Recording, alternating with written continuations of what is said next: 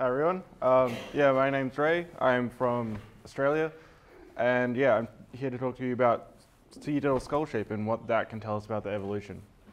Uh, so, for those who don't know much about sea turtles, they are they're a globally distributed um, group from like all the way from the Arctic Ocean to all the way down to the Southern Ocean, concentrated around the tropics, but they're pretty much found in every ocean in the world.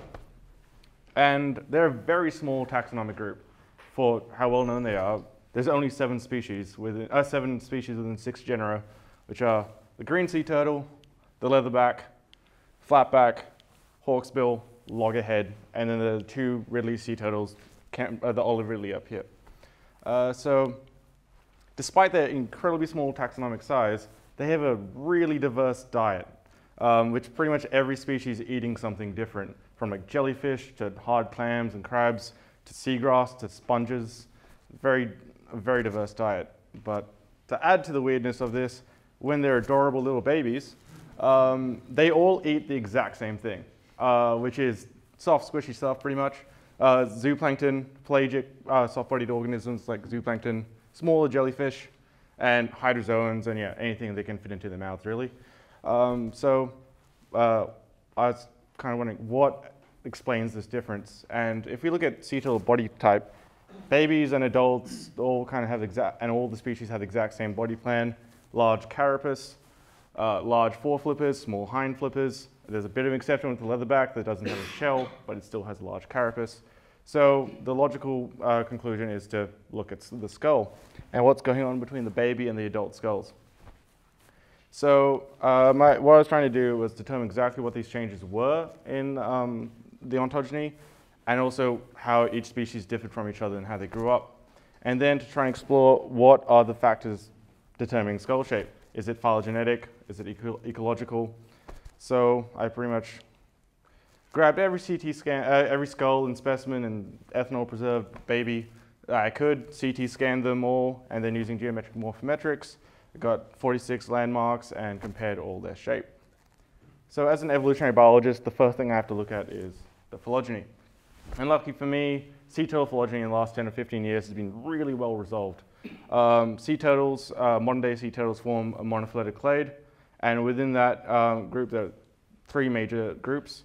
The leatherback um, is off on its own, and then the hard-shelled sea turtles form two big clades, uh, the hawksbill, the olive ridley, and the loggerhead in the purple there, and the green and flatback form their own group in gold. So when we're talking about a phylogenetic signal as a determinant of skull shape, we'd expect the shape space to represent the phylogeny and reflect it quite closely, which is what, exactly what we see in hatchlings. They spread out exactly how we'd expect, with close related species grouping together and more distantly ones, distantly related ones off to the side. But when you go to adults, it's a complete mess. Um, there's uh, the phylogenetic signal is significantly reduced, and even like you can see like close related species uh, like the loggerhead and the Ridley sea turtles very far apart.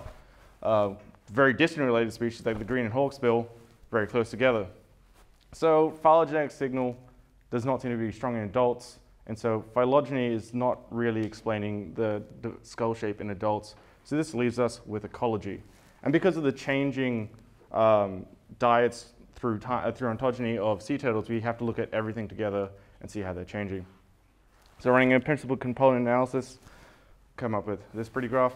Um, there's a lot of, this is very information dense, so the main things I want you to get out of it is that all the specimen, all the points are scaled to specimen size, and that across PC1 left to right, virtually every species, actually all the species get bigger. There's a very strong trend getting bigger across PC1, so we can pretty much assume that PC1 is explaining the shape variation across size. So are these features? Fairly typical for tetrapods. The orbit um, gets proportionally smaller and other sensory structures get proportionally smaller, while trophic structures such as muscle attachment areas get particularly the supraoccipital crest, which is that large pointy blade-like structure at the back of the skull, get proportionally larger. And since PC1 is the largest, uh, is the source of the largest variation in sea turtles, um, we can kind of assume, and its related size, it seems that size is the dominant factor in determining sea turtle skull shape. So that means we have to explore it a bit more. So if we look at uh, size compared to shape, you can see there's an incredibly strong relationship with uh, sea turtles. It's much stronger than most animals. So if we look at predicted shape score, we can kind of start teasing apart relationships a bit more. And we can see some cool patterns emerging here. So these three species, the hawksbill, the green sea turtle in gold, and the loggerhead in red, all have virtually the exact same slope and exact same intercept. And they're very similar. The main difference being that the loggerhead just keeps on going. Um, it just, it, a final adult uh, is, the final maximum size is much higher shape score and has a more exaggerated adult features. And this is classical case of peramorphy. But when you look at the other hard-shelled sea turtles, like the olive ridley and the flatback, they're showing a very different story. They're quite a bit shifted down in shape score and have uh, more juvenile skull shape than we would predict.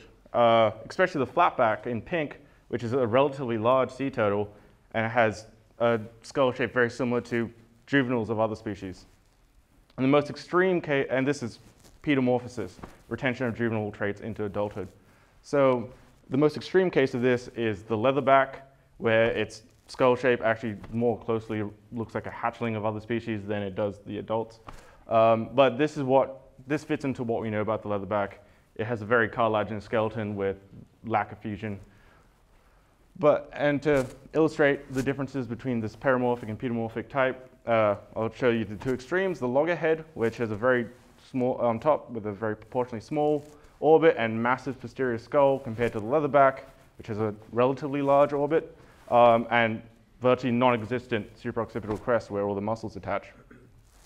But if you look at this as a whole picture, especially if you look at just the adults, uh, kind of cool trend emerges where as you move up shape score, they start eating harder and harder things. And this actually closely reflects to what uh, sea turtles, most sea turtles go through when they progress through diets. They go from soft jellyfish to more uh, larger, softer stuff in the shallower waters, to more generalist, to eating harder things. But two don't really fit this trend, which is the uh, uh, hawksbill and the green sea turtle, which have unique diets. The hawksbill eating only sponges virtually, and green sea turtle being herbivore. And so these don't seem to be associated with size as much as the other diets. So we have to look at shape variation not associated with size which is PC3 and PC4. So PC3 is mainly about the loggerhead having a fat head.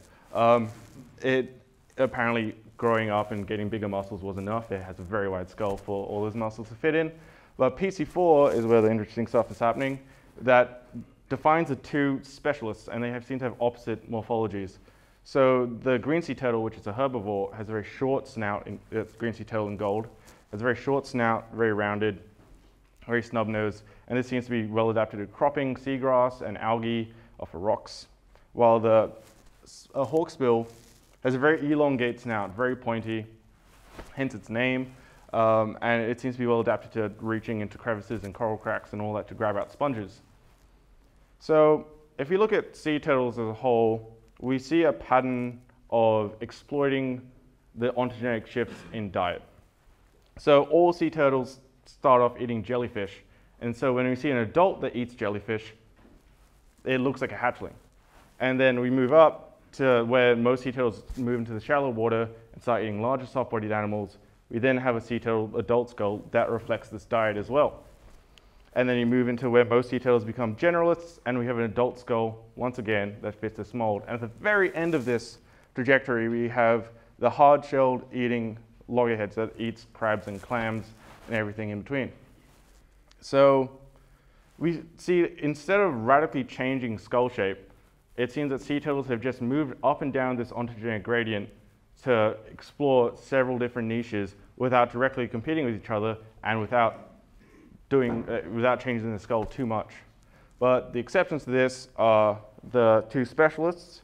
So it seems that when you radically shift your diet, such as carnivory to herbivory, as we see in the green sea turtle, and the getting a very specialist diet in eating almost up to 95% sponges, you can't just rely on this ontogenetic shift. You have to adapt more drastically. Um, So what we see in um, sea turtles is that developmental patterns like uh, peramorphy and pedomorphy seem to be very important uh, in determining the evolution. Peramorphy seems to have evolved at least once in the loggerhead. Pedomorphy seems to have evolved at least three different times, um, all exploring, exploiting different niches that other sea turtles um, go through. And then when it gets a bit uh, too extreme diet change, they shift. So sea turtles can kind of have seemed to shortcutted evolution instead of rapid, rapidly changing their skull, just stop growing up or keep growing up more.